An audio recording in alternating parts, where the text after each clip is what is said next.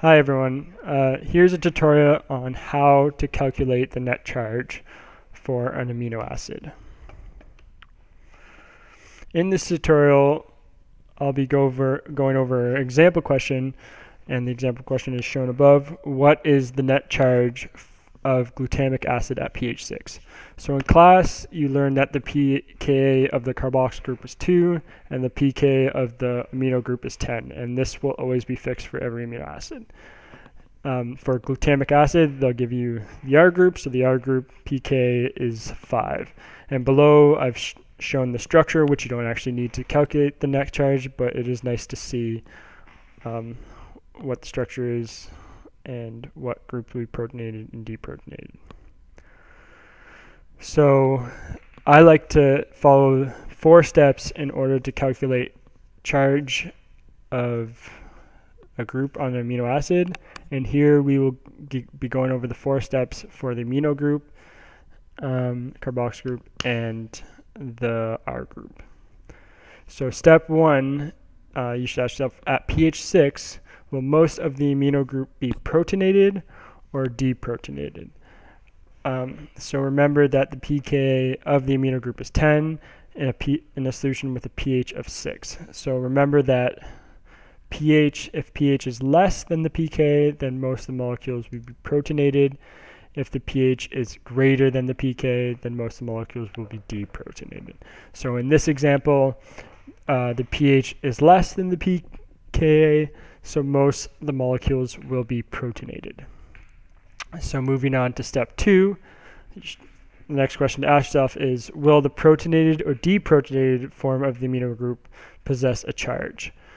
So uh, it's a giveaway that the NH3 plus, uh, the protonated form will possess a charge and it will be a positive charge. Um, and that brings me to the third step. So the third step is what is the ratio of protonated to deprotonated molecules.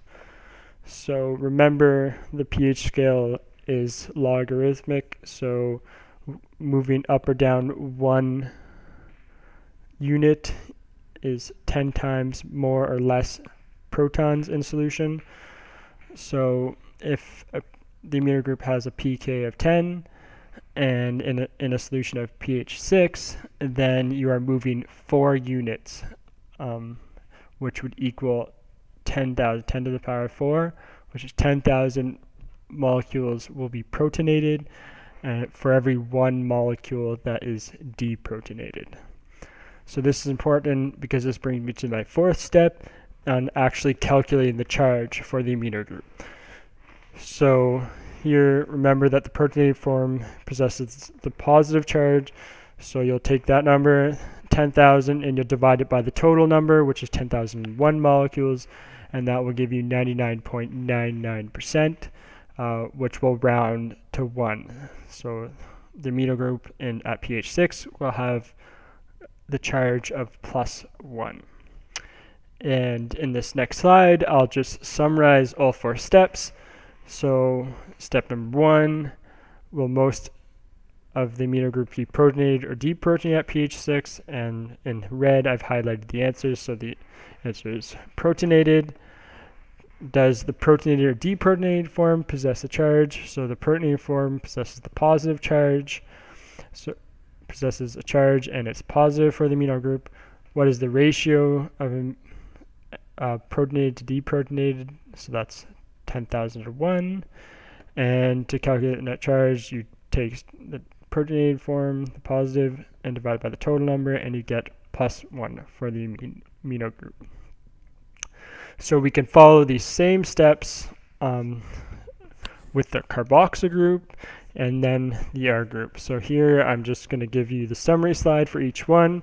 I can I'll let you go over each step independently yourselves and let me know if you have any troubles with that. So for the carboxyl group, remember the carboxyl group has a pKa of 2.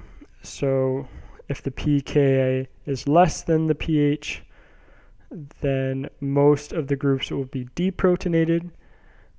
Um, does the protonated or deprotonated form possess a charge? So here the CO minus, so the deprotonated form possesses a negative charge. What is the ratio? So using that exact same way we calculate the ratio for the amino group, um, the ratio will actually be for every one protonated carboxyl group, there'll be 10,000 deprotonated, and that will give us the overall charge of negative 1 for the carboxyl group.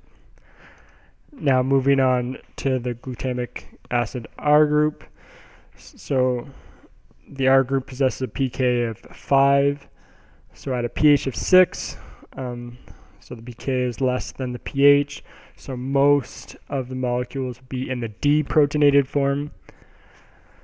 Does the protonated or deprotonated form possess a, a charge? So the deprotonated form CO minus possesses a negative charge. Uh, so what is the ratio? So here we're moving one unit away, so there's one unit less protons in solution.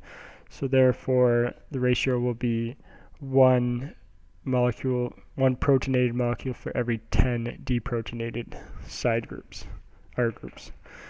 And to calculate the net charge, what you take is the 10 and you divide it by the total number, 11, and you'll get negative 0.9 uh, charge for the side group. And that brings me to the final slide. So what is the net charge of glutamic acid? So then I would take the sum of all three groups, add them together, and that will be the net charge. So plus 1 for the amino group, minus 1 for the carboxyl group, and negative 0.9 for the R group would equal a net charge of negative 0.9. So please leave your comments on the forum if you like um, this tutorial and I could do more in the future. Just let me know what you think. And if you have any more questions or comments, uh, don't be hesitant to ask them on the forum.